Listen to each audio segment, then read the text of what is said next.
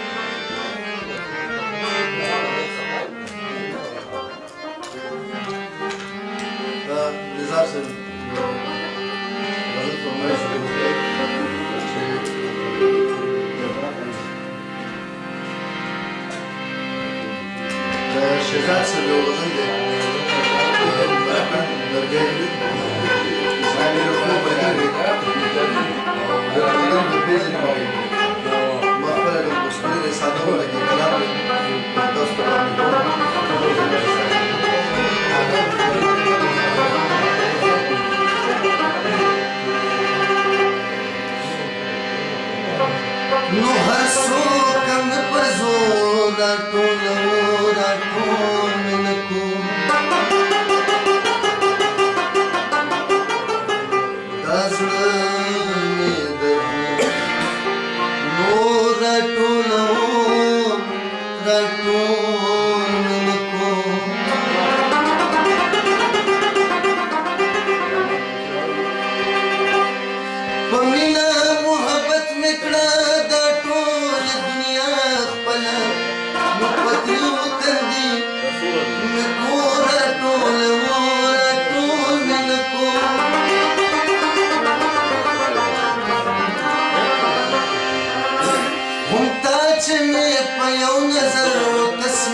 بس نه کوي نو تر اوسه زړه خو راټولو راټولو